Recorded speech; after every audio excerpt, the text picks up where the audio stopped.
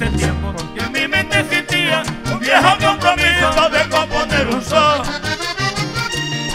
Él trataba de hacer una melodía como unos cuantos versos